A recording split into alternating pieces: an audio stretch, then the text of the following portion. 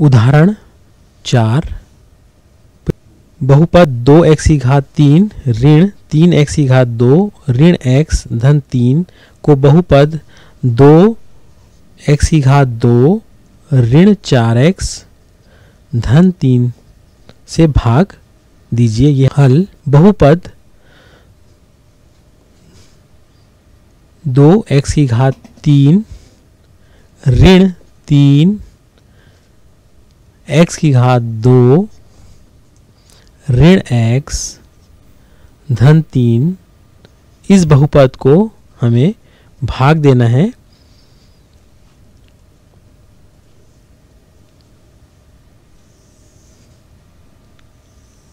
ये हमारा भाज्य है। बहुपद दो एक्स की घात तीन, ऋण तीन एक्स की घात दो, ऋण एक्स धन तीन को बहुपद दो एक्स की घात दो, ऋण चार एक्स, धन तीन से भाग दीजिए। ये हमारा प्रश्न है। हल के लिए हम दो एक्स की घात तीन, ऋण तीन एक्स की घात दो, ऋण एक्स, धन तीन को भाग देंगे।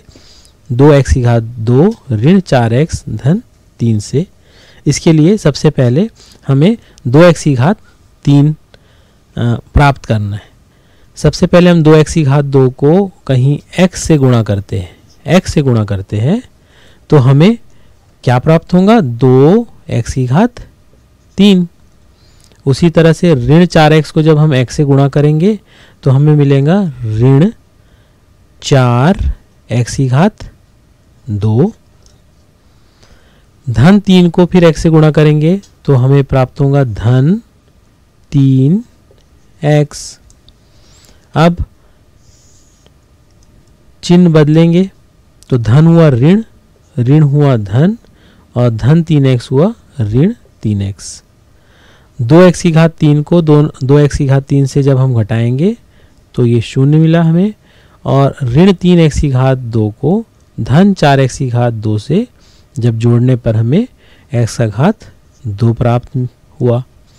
उसी तरह से ऋण एक्स ऋण तीन एक्स ऋण चार एक्स और धन तीन को हम नीचे उतार लेंगे।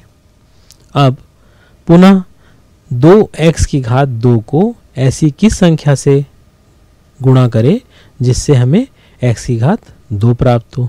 इसके लिए हम धन जब कहीं जब हम एक बटा दो को दो से गुणा करेंगे तो दो दो कट जाएगा और हमें एक्स का घात दो प्राप्त होगा। तब हम दो एक्स की घात दो को धन एक बटा दो से गुणा करने पर हमें प्राप्त हुआ एक्स की घात दो। उसी तरह से ऋण चार एक्स को धन एक बटा दो से गुणा करने पर हमें प्राप्त हुआ ऋण दो एक्स और धन तीन को धन एक बटा दो से गुणा करने पर हमें प्राप्त हुआ तीन बटा दो। पुनः हम यहाँ पे इनके चिन्ह जो है विपरीत करेंगे, धन का ऋण ऋण का धन और धन का ऋण। X की घात दो, ऋण x की घात दो, शून्य हुआ और ऋण चार एक्स धन दो एक्स बराबर ऋण दो एक्स धन। कोष्टक में हम लिखेंगे तीन, ऋण तीन बटा दो बराबर ऋण दो एक्स धन। घटाने पर हमें प्राप्त होगा छ ऋण तीन बराबर तीन बटा दो।